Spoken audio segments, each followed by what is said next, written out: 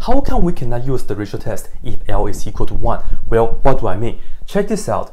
The ratio test, which is good for when you see factorial for maybe n in the exponent, and what it says is that we will have to first check the limit as n goes to infinity, and we take the absolute value of the ratio of the next term and the current term. And suppose that we get an answer out of that, that's called out to be L, and we know that the series of an it will converge if L is less than 1, and it will diverge if we see that L is greater than 1. But when L is equal to 1, this right here is inconclusive. That means that we have to try another test. But why is that? Well, let's talk about it. Of course, inconclusive means that it can go either way. So the best thing for me to do is to give you guys examples. So I will give you guys this one right here.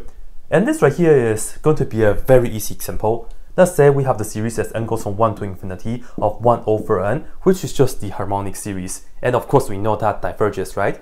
But suppose we don't.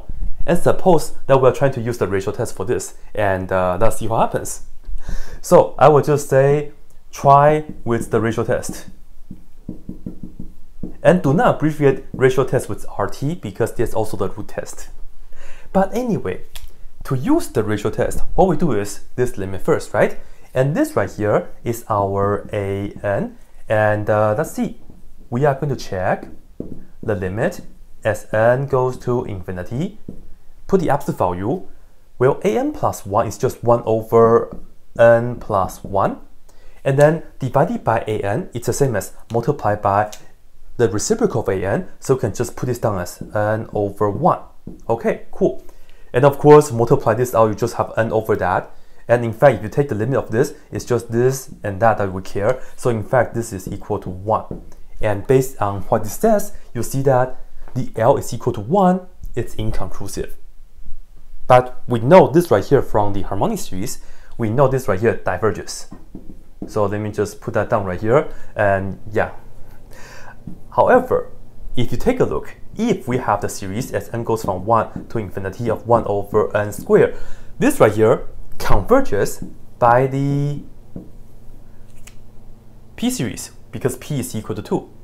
However, if we use the ratio test, again, let's just try the ratio test. Well, here is our an, and then we are going to check the limit as n goes to infinity and then absolute value, and then this right here is 1 over n, but we have to do an plus 1, so we do n plus 1 here, and then we square that, and we multiply by the reciprocal of an, which is n squared over 1. And depends on how you want to do it, you can multiply this out real quick, which we get n squared plus 2n plus 1. And because n goes to infinity, again, you can just do this way, like the pre-calculus way to, to take the limit. And again, you end up with 1. So as you can see, when you get 1 from the ratio test, it can go either direction. The earlier one, it diverges. This one, it converges. So this will be an idea or an example that why when you get L is equal to 1, you just cannot say anything. You just have to use another test. Of course, don't do the ratio test for the P series. Don't do that. I don't know why, but it's just for demonstrate it's just for demonstration purpose to show that ratio test it has its limitation. That's all.